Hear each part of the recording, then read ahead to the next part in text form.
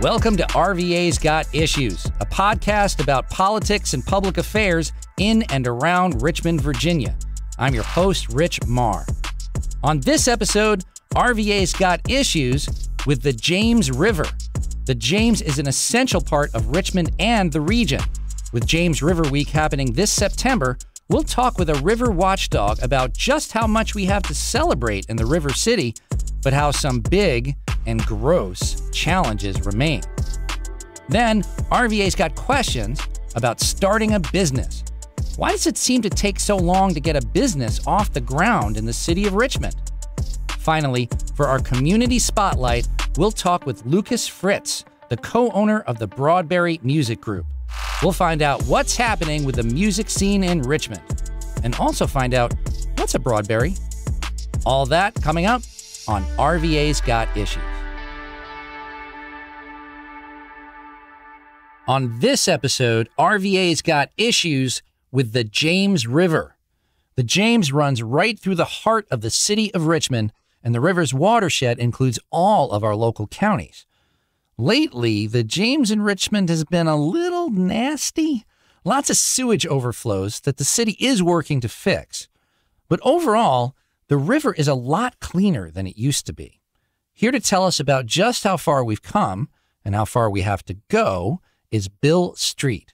He's Chief Executive Officer of the James River Association, a nonprofit group that describes itself as the guardian of the river. Welcome, Bill. Thank you. Thanks for having me. Bill, Richmond is the river city. The James River is an important local resource, and it's a cultural and historical symbol of who we are. Can you start by talking about some of the ways that all of us in RVA are connected to the river? You know, the way I love to highlight that connection is pointing out that 60% of our bodies are made of water. and if you're drinking water from a tap or just using water in this region, it's coming from the James River. So we are literally all connected and all have a vested interest in how the James is doing. And it's for a multitude of uses, right? You're talking about drinking water, Right. but there's lots of different ways that we engage with the river. Yeah. Richmond is located at the head of the tide and the foot of the falls. And so it has been a key meeting area and trading area going back uh, eons from the earliest civilizations with the Native American. But today provides such a great recreational opportunity and just quality of life. We've got tide water that allows navigation. We've got the class three and four rapids coming through the falls. No other major city in the, in the country has those kind of amenities. So Richmond is really blessed with uh, having so many different opportunities and activities around the James. Yeah, so every two years, your organization assesses the health of the river. You publish a report, The State of the James. So, how are we doing? What's our report card telling us? So our latest report card gives the river's health, and we look at 18 different indicators of river health to come up with our grade and our score. We're a grade of a B.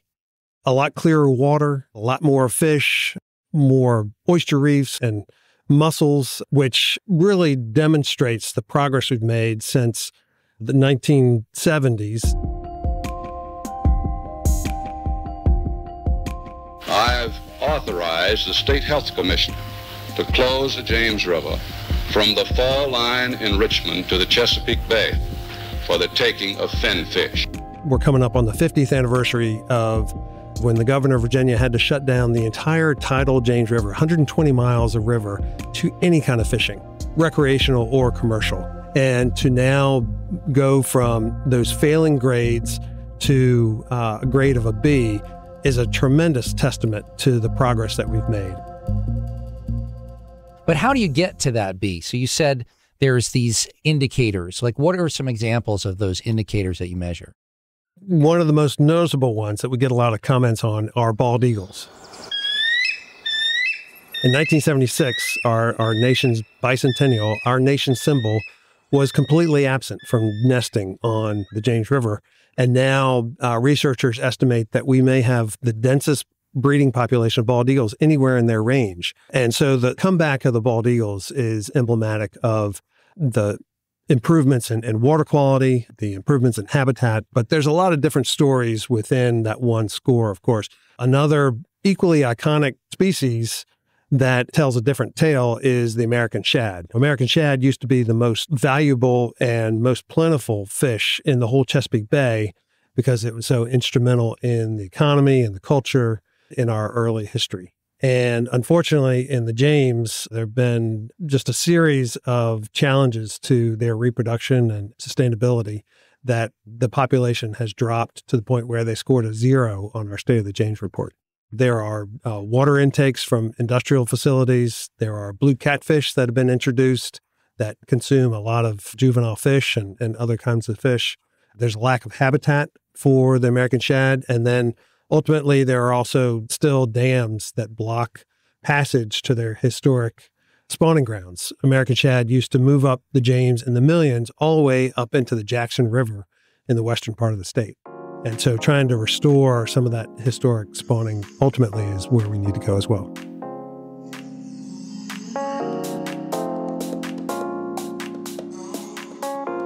So let's roll it back a little bit. You mentioned a little about this, but but back in the 70s, the governor literally shut down the river saying right. like just don't get the fish out of here because it, it's not safe to eat. Until we can be reasonably certain that no health hazard exists, the rivers and the streams that I've outlined will continue to remain closed. Why were things so bad? What had happened to let it get so polluted? A lot of it was just not understanding the, the full impact of what was going on. And just gradually, as more and more people came around the James and more industry developed along the James, we were putting things into the river that were really damaging and we just didn't understand the full impact that it would have. It all started when a Virginia health official received word that a blood sample drawn from a worker at a small chemical plant contained large quantities of a pesticide called kepone, a highly toxic chemical that has closed down the James River for fishing and left central Virginia with an eerie feeling of uncertainty. Well, we found that the compound uh, produced very severe uh, nervous system effects. And uh, if this was high enough, they uh, ultimately uh, died. The governor shut down the river in 1975. James River Association was founded in 1976. It was founded by a group of concerned citizens who saw a lot of change happening around them and, and in the James River and realized that unless we sort of band together and provide a voice for the river, they'll just have to accept whatever change comes downstream. Over the last 20 years, uh, Virginia overall has now invested over $4 billion in clean water programs.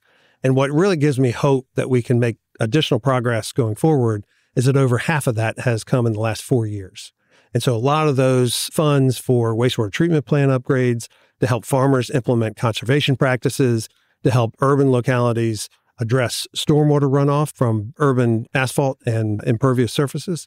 Those projects are still yet to be put on the ground. And once they do, we're hoping we see a significant improvement. We're talking with the James River Association's Bill Street. We'll hear more about cleanup efforts on the James and the troubling uptick in sewage overflow from this summer when we come back on RVA's Got Issues.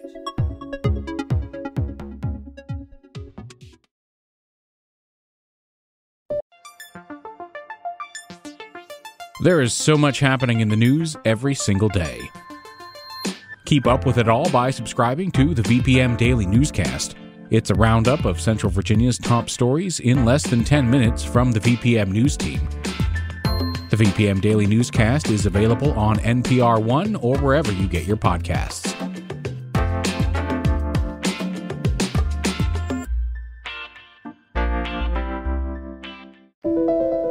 This is RVA's Got Issues. We're back with Bill Street of the James River Association talking about the current and future state of the James. So, Bill, the summer of 2024 was a tough one for the James, right? Listeners probably heard a lot about significant problems with sewage, stormwater runoff into the James. You know, the kind of numbers that we were seeing in the news, like I think it was January 2023 was like 5 million gallons of, of sewage and January 2024 was like 1.3 billion gallons. Like it just mm-hmm. seemed like Yeah. the charts were going way too high Right. up up this year. So so it maybe there's overall progress, but this seems pretty alarming to have that that big an amount come into the river this year. Yeah. So the, the take home message there is that these things do happen and they are happening, particularly when we get extended periods of significant rainfall. And so people need to be aware of the conditions of the river if they want to go out and use it. And so the James River Association has a website called James River Watch. And every week during the summer, we sample up and down the James River about 30 different places where people like to swim. And we analyze them for how much bacteria is and whether it meets the, the state's standard for uh, being safe to swim or not. Uh, the good news is that over 10 years that we've been taking these samples in the city of Richmond, 82% of the time it's safe to swim. You just need to know when that 18% of the time mm. is and, and make sure that you take appropriate precautions. So as much as you folks are fans of the river, you try to get that information out there, right? You're not going to tell people that the river's safe when it's not safe. To That's right. in. We want people to enjoy it and be safe and, and have a great time afterwards as well. And so, what is stormwater runoff? What are we talking about, and why does Richmond have this problem? stormwater runoff is, is what happens anywhere where it's developed and we have streets and uh, driveways and roofs that don't allow the water to percolate back into the soil as it would naturally. And so the water rushes off and it carries a lot of pollutants along with it. Mm. And some of what it carries is bacteria. Now, the city of Richmond, being a historic city, was developed well before sort of advanced sewage treatment systems. Right. And so, like Paris, we saw in the Olympics this year, Right. uh, has a system that combines stormwater and sewage from households and businesses. And so when you combine those two systems, if you get too much rain, it overwhelms the system and they have to spill the excess capacity into the river untreated. That causes untreated sewage to be in the James River and can pose a health risk. And so this summer we had both the the intense rain events that caused overflows to happen, and that creates bacteria pollution into the into the river. But we also had a sewage leak Mm. in a sewage pipe, and so that is just where regular sewage that otherwise would make it to the wastewater treatment plant was actually leaking into the river and causing a health concern that way as well. So we've got uh, aging infrastructure, right? A broken pipe here and there. We've got a system that's set up to funnel rain with bacteria and combine it with sewage overflow, and that gets pushed into the river too. So is this year, this this particularly bad year, an outlier, or is it part of a like a a trend? Right, with climate change, we might get more of these rains. This is actually not an anomaly this year. It's just got a lot more attention, Mm. uh, which is is not a bad thing to increase concern and and hopefully help drive toward solutions. The the city has been working for decades to correct the combined sewer system so we don't have as many overflows. Uh, so we've made a lot of progress, but still it occurs on a regular basis. Let's talk about the plans the city has to try to fix this because there's some like cool sci-fi stuff involved, like diversion pools, exposing like the runoff to Mhm. radiation and things like that. Can you tell us a little bit more about this this sci-fi irradiation plan? Right? How does that work? Like, how, are we just gonna like shoot ray beams at the at the river? Like, what what exactly are we talking about here? So, ultraviolet light actually kills bacteria that can be really harmful to humans. And so, by exposing wastewater and the stormwater to UV lights in a very sort of concentrated manner to make sure that it's penetrating through the water, we can kill a lot of the pathogens and bacteria that pose a threat to human health. And so now we've got a sewer system that'll have this really high tech treatment at the same time some of the pipes that supply it are still made of wood. it is pretty remarkable. And so there is this kind of, I don't want to say looming deadline, right? But there's this legal mandate to clean up the river by 2035. Is that right? So the city has estimated that it will cost about $660 million that needs to be put in place by the end of 2035. So the city currently has about $150 million that have been appropriated from the state. And so we are very hopeful, and there's been good support in the General Assembly and the administration. And so we hope that over the next five years, we can get the funding that ensures that Richmond can really move forward as quickly as possible. So let, us celebrate the, the progress that we've made and, and the fact that people can enjoy the James so much. But we really want to finish the job and, and get to be a grade A, fully healthy James River that everyone can enjoy.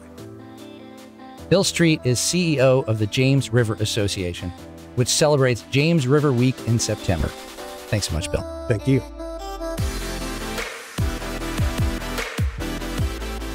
On each episode of RVA's Got Issues, we'll answer a question from listeners like you, something you want or need to know about your government or community. And on this episode, RVA's got questions about starting a business. Our producer, Amber Coles, is back to help us. Hi, Amber. Hey, Rich. Amber, you have a question from our listener? I do. I have a bit of a question slash concern from Christina Grulich. She writes about a the lengthy, redundant, and painful processes for opening a business in Richmond. Um, she goes on to say, I've known several small business owners who almost went belly up before even opening their doors. The cost for both opening and operating is high, but also the glacial pace that the city of Richmond moves to help these businesses open. There's no urgency or even decent anticipated follow up for things like inspection. So she says all this to say, why is it so hard in the city of Richmond to start a business? Yeah, sounds like she's frustrated quite a bit, which is understandable. Amber, have you ever started a business? I know several friends of mine who have started a business. I have a my own kind of small business. I know the process of like naming the business, but not necessarily like if you're starting a brick and mortar business, how that works. Uh, you haven't turned yourself into a store yet. I have not. Yeah. So it, it's not easy. I mean, forget about just coming up with the good idea of what you want to sell and hiring people, the inventory. You also have to deal with your local government. You actually need three things from the city from three different offices. You need a certificate of occupancy from the permit office. That's so the city can say it's safe for you to actually be in the building, like the ceiling's not going to cave in. You need a certificate of zoning compliance from the zoning office so that you don't open up, I don't know, like a hardware store in a residential neighborhood. It has to be in the right zone for business. And if not, then you're going to apply for a special permit. That takes a long time. And the third thing you need is a business license from the tax office. So, three different things from three different offices. So, I feel like a lot of these are what Christina has concerns about, but which one of these do we think that she's kind of like has the highest concern for? Yeah, I really think it's the permits. That is the there's been a long-standing, really bad reputation for the city and their permitting office and how long it takes to get those certificates of occupancy and send out people for inspections. Now, the good news is that the city actually has kind of fixed this problem. So, even though Christina's right about the stories she's got from the past, the city argues that it's not that way anymore. They've added online forms for a lot of the permits. They can allow third party inspections. So you don't have to wait for a city inspector to come out.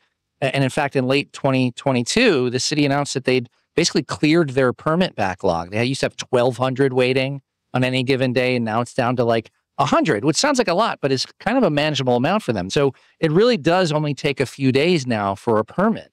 Uh, really good news for business owners. So problem solved? yeah, we wish, right?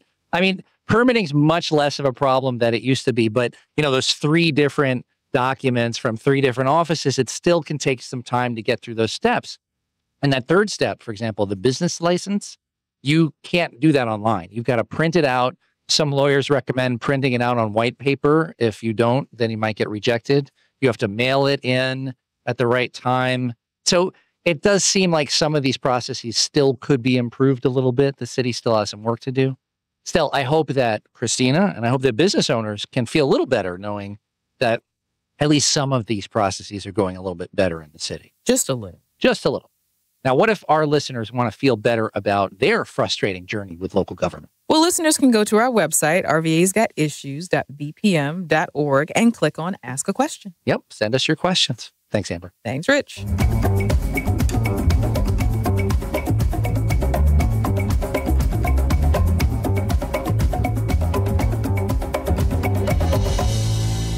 Richmond has always had a strong music scene. It's famous for its punk and metal, among other genres, but now there's a diverse and growing wave of new musicians coming out of Richmond. we're shining our community spotlight on Lucas Fritz. He's the co owner and talent buyer for Broadberry Entertainment Group in Richmond. Welcome, Lucas. Hello. Thanks for having me. So let's talk about your venue, the Broadberry, the club on Broad Street, which is across from the Science Museum, roughly. First of all, what's a Broadberry? A Broadberry is nothing. A Broadberry is on the corner of Broad and Mulberry, or generally near the corner of Broad and Mulberry. So it's not that there are Broadberry trees up and down Broad Street. it's that you just named it after the corner. Yeah, there. I didn't quite get in uh, far enough into science to graft a couple different fruit trees together to create the Broadberry. Okay. Uh, maybe one day. And how do you describe this place to people? It's a general admission rock club. Um, we're open, we say two to six nights a week, uh, all year long, host all genres of music. And you got started at a club like that, right? The Camel? Sure. Yeah. I started booking shows at the Camel while I was at VCU. I actually majored in jazz performance at VCU, trumpet player. I had this goal and an idea that the student performers and student ensembles were kind of getting stuck in this concert hall world where it's a very formal performance. So my goal was like, well, let's get people out out of the concert halls, out of the practice rooms, and go play in a bar. Have it be loud and people talking over you while you play. And so, how did you become now like a larger company? Broadberry opened in 2014. I was booking shows at the Broadberry and the Camel, so two rooms. There was a band that I really wanted to book called Holy Ghost Tent Revival. The only date they had available, I was already booked in the Camel and the Broadberry. So, because I don't like saying no, I'm a problem solver, as I like to say, professional solution finder. I found another room. And so that was kind of the first step outside of the walls of the brick and mortar venue. So, can you explain that? I can't say no. Like, why do you have to get that band to Richmond? Great question. I mean, I guess ultimately I don't, but there needs to be someone that's kind of fighting for all these musicians, you know, like for me, it's like, well, I want to fight so that, you know, Holy Ghost Tent Revival has an opportunity to perform in Richmond, develop their fan base, and have that be a part of their career and their artist trajectory. then you kind of expand that over every artist that we work with. It's like, well, it's my job to work with them and for them and on their behalf to give them the best platform to present their music. So, what do you look for in a band, right? And I know you are just looking to get people into venues and, and share their music, but you must have some taste. What makes a band you think that's going to be successful that you might want to book? you know, there's a lot of factors. I think it was Duke Ellington maybe once said, good music is good music. It doesn't matter what it is. And so, like, something unique, something different. You know, is it odd time signatures? Is it interesting instrumentation? Oh, this band has a sitar in it. Oh, that's kind of weird. Let's listen to that. That's cool. Or, you know, interesting harmonies or interesting song forms. But all that aside, if you go back to the old three chords in the truth or four chords in the truth kind of country music, it's like, are the lyrics do they speak to me do they speak to people in general so i mean there's a lot of things that make music good it's all very subjective so to say like i just book music i like would not be true but i try to book music that i like and i try to also think well what do other people want to go hear and what do they want to see live and um, kind of take all those things into account And so, how does this work for a band from Richmond? What are you trying to see for a band from Richmond to help them grow? So bands in Richmond are different because when you're a local band, there's kind of like two trains of thought. One is you want to get as many eyeballs or ear balls uh, on your music as possible. Uh, and then at the other point, you need to kind of balance the supply and demand. You can't play too much because then people, oh, I miss you this time. I'll just see you in a week and a half, in two weeks. You can't play too little where people kind of forget about who you are. So it's finding this balance of performing enough, growing your local fan base, but then also starting to get out of Richmond. Go to Charlottesville, go to DC, go to Virginia Beach, get down to Raleigh. You know, they're all a two hour ish drive away. You can go start building a following regionally. And that just kind of helps locally. So, is, it, is there an example of a band or an artist you've worked with um, that you've seen this kind of growth happen with? So there's a ton of bands that have kind of developed in Richmond um, and gone elsewhere. I mean, one uh, very successful example is Lucy Dacus. You know, she was performing at the Camel opening for other regional artists, uh, and then as kind of you know, we've said run the gamut of all the Richmond venues. Did the did the Camel, did the Broadberry, did the National, played Browns Island, and you know now she's playing these gigantic um, venues kind of all over the country and all over the world. You know, we played a small part in helping giving her a platform here in town. Yeah, I mean, I think that some people, uh, particularly if they know Richmond from, let's say, like the '90s or, or earlier, will think of it as GWAR Town, or they'll think of it as like a a kind of metal punk. But there, there really is a lot of stuff going on, uh, a lot of different genres, right? For sure. You know, you think about what you're saying, the late 90s are it's Grace Street. You have the Twisters, 929. It's punk, it's hardcore, it's metal, but things have grown. I mean, there's a great bluegrass scene, there's great jam bands, there's a really burgeoning hip hop community. It's a little bit of everything. Do you think Richmond gets overlooked as a music town? Uh, yes and no. Um, Richmond doesn't have the large format space. We don't have the pro sports team. We don't have a football stadium, a basketball stadium. You know, the Coliseum was hosting concerts until it closed. So is it getting overlooked by the indie band, like younger, smaller, developing artists? No, I don't think so. But that takes a special person who's going out, finding these new developing artists, going to see shows in the 500 cap clubs, 1,000 cap clubs. Are we missing the Taylor Swifts of the world? For sure. I don't know that we'll ever get that size of artist until we can get the venue that'll support 15, 20, 30, 50,000. When you see bigger bands come through, even to play some of the smaller venues, do you get the sense that they think Richmond is a good music town? I think yes. I mean, it's definitely grown uh, in the last 20, 30 years. I think the number of venues, the number of opportunities, um, you think the Richmond Folk Festival, how long that's been around, all the various things that happen within the city that kind of create it as a music town. The recording studios, the record labels, the venues, the kind of group of artists that live here, it is becoming a town. And then through the network of musicians and artists, it is kind of building up as people do want to come here. What's one Richmond band that people aren't listening to who they should listen to? I'll say the Mitras. You know, I've been working with them for a number of years. Great guys. They are putting in the hard work. They have a really cool three piece rock and roll in your face, high energy sound. I think everybody should check them out. Lucas Fritz is co owner and talent buyer for the Broadberry Entertainment Group. Thanks, Lucas. Thank you.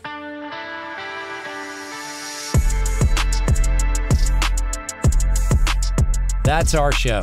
Thanks to our guests, Bill Street and Lucas Fritz. RVA's got issues, but we need you to tell us what those issues are. Submit a question or tell us about something exciting going on in your community at our website, rvasgotissues.vpm.org. For example, most of the monuments are gone, so what do we do with Monument Avenue? If you've got an idea or know someone who does, drop us a line. RVA's Got Issues is produced by Max Wasserman and Amber Coles and edited by Steve Lack. Our theme music was composed by Alexander Hitchens. Meg Lindholm is our executive producer. Steve Humble is VPM's chief content officer. I'm your host, Rich Meagher. Thanks for listening.